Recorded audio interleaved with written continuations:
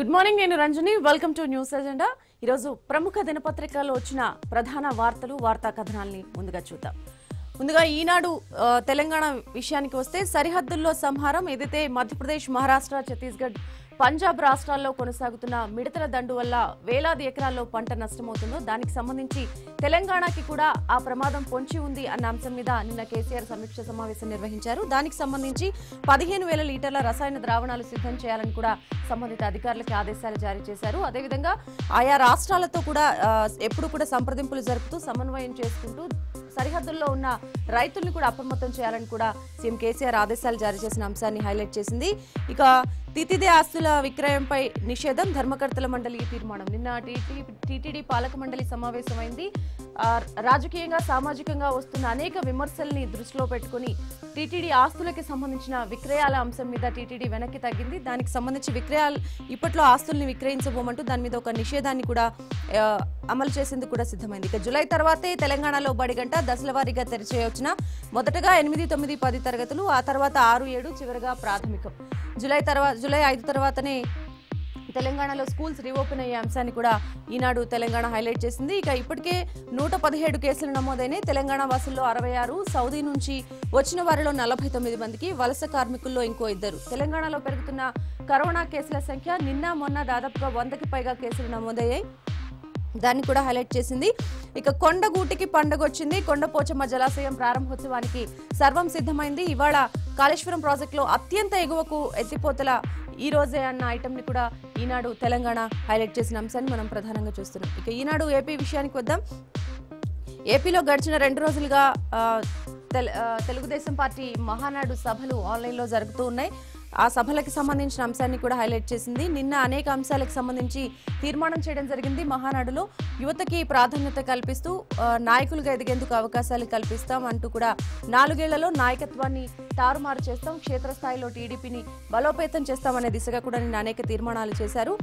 దానికి సంబంధించిన ఐటమ్ ఇక తిరుమల తిరుపతి దేవస్థాన ధర్మకర్తల మండలిలో తీసుకున్న నిర్ణయాల్ని కూడా ఈనాడు ఏపీ హైలైట్ చేసింది. ప్రత్యేకించి పుట్టి ముంచుతున్న పొరుగు ఒకే రోజు ఏపీలో కూడా నూట ఇరవై ఎనిమిది మందికి నిన్న పాజిటివ్గా సోకింది. ఆ నూట ఇరవై ఎనిమిది మందిలో డెబ్బై నాలుగు పొరుగు రాష్ట్రాల నుంచి వచ్చిన వారు డెబ్బై నాలుగు మంది ఉండగా ఏపీ రాష్ట్ర వ్యాప్తంగా ఉన్న స్థానికుల్లో మరో యాభై నాలుగు పాజిటివ్ కేసులు నమోదయ్యాయి. అంటే వలసల నుంచి వస్తున్న వారు కావచ్చు విదేశాల నుంచి వచ్చిన భారతీయులు కావచ్చు ఎన్ఆర్ఐలు కావచ్చు వాళ్ళ నుంచి ఎక్కువగా ఇటు తెలంగాణలో అటు ఏపీలో కూడా పాజిటివ్ కేసులు అనేవి ఈరోజు ఎక్కువగా నమోదవుతున్నాయి. ఆ అంశాన్ని కూడా హైలైట్ చేసింది. ఇక ఏపీలో ప్రధానమైన అంశం ఎప్పటి నుంచో వివాదాస్పదంగా మారుతున్న అంశం ప్రత్యేక హోదాకి సంబంధించి.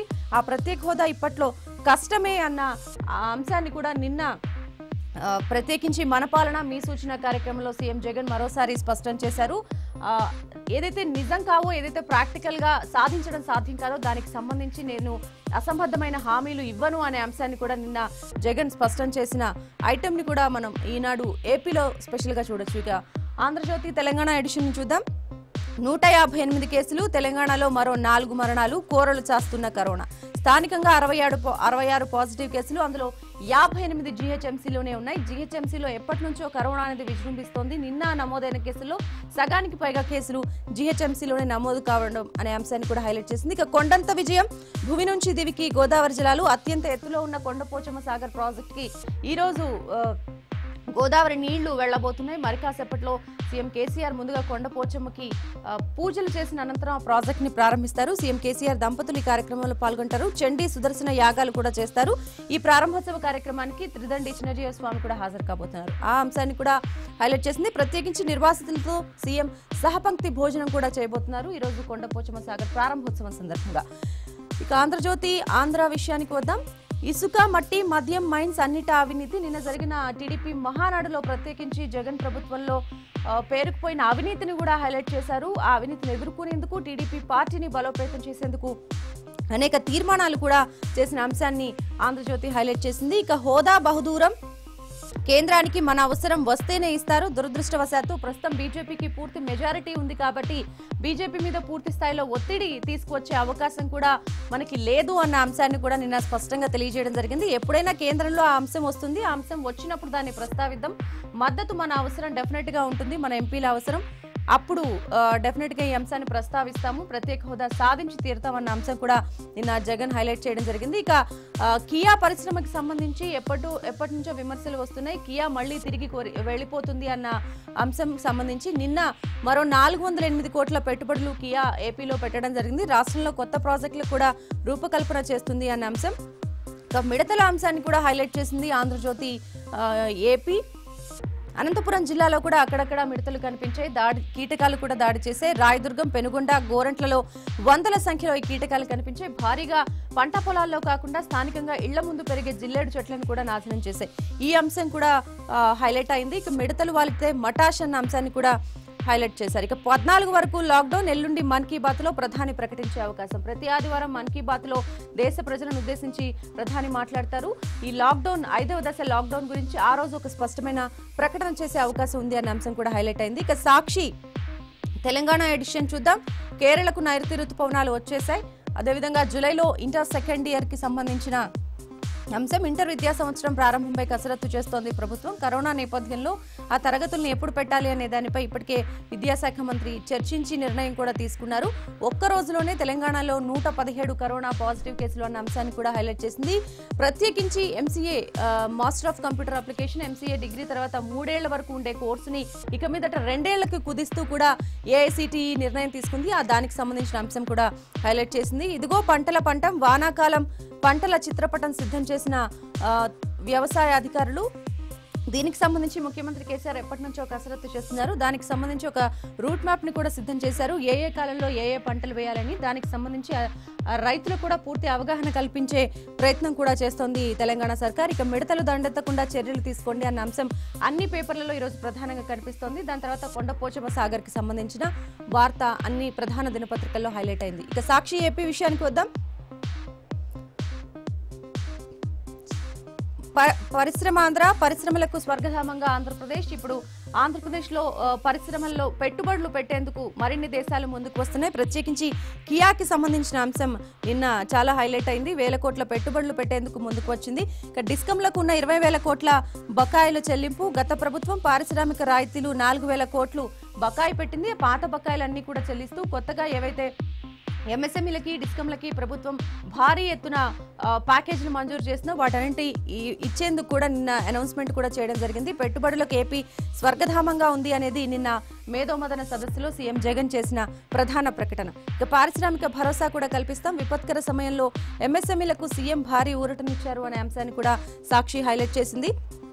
ఇక టీటీడీ ఆస్తుల విక్రయంపై నిషేధం. నిన్న పాలక మండలి సమావేశానికి సంబంధించిన కీలక అంశాలను కూడా సాక్షి హైలైట్ చేసింది. ఇక పీజీ వైద్య సీట్ల భర్తీలో బీసీ ఎస్టీ ఎస్టీలకు భారీ లబ్ధి సీటు మారితే ఖాళీ అయిన సీటు అదే కేటగిరీ అభ్యర్థితో భర్తీ. దీనికి సంబంధించిన ఏపీ వైద్య ఆరోగ్య శాఖ కూడా ఉత్తర్వులు జారీ చేసింది.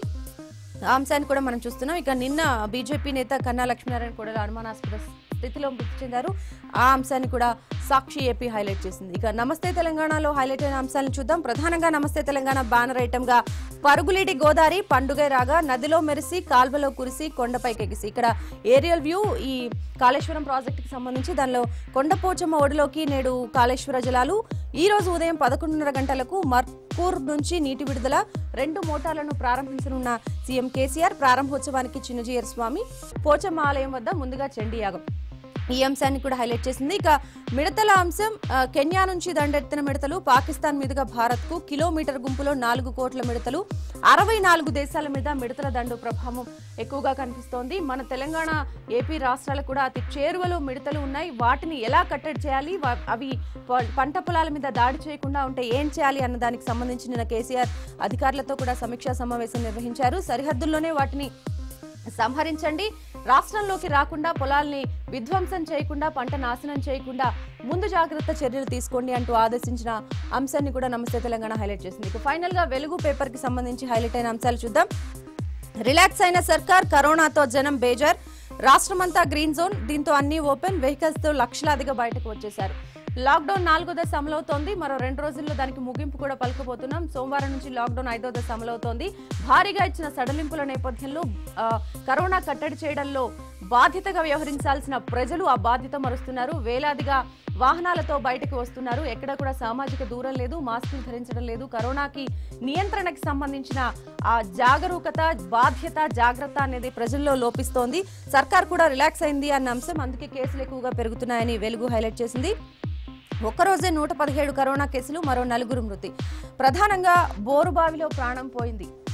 మనం చూసాం మెదక్ జిల్లాలో మూడేళ్ళ బాలుడు బోరుబావిలో పడిన ఘటన. దాదాపుగా పన్నెండు గంటలు ఎన్డీఆర్ఎఫ్ సిబ్బంది రెస్క్యూ టీం తీవ్రంగా శ్రమించారు. కానీ బాలుడు పడిన కొద్దిసేపటికే ఊపిరాడక ఆ బోరుబావి గుంటలో మృతి చెందిన ఘటన నిన్న రాష్ట్ర వ్యాప్తంగా అందరినీ కలచివేసింది తీవ్రంగా. మళ్ళీ బోరుబావి అంశం అనేది మరొకసారి తెర మీదకి వచ్చింది. దీనిపై ప్రభుత్వం ఇప్పటికైనా కఠిన చర్యలు తీసుకోవాలి ఇలాంటి బావుల మీద అనే అంశం. ఇక మిడతల పని పట్టడానికి ఫైర్ ఇంజన్లు. ఇవి ఇప్పటి వరకు అన్ని ప్రధాన దినపత్రికల్లో ప్రధానంగా హైలైట్ అయిన వార్త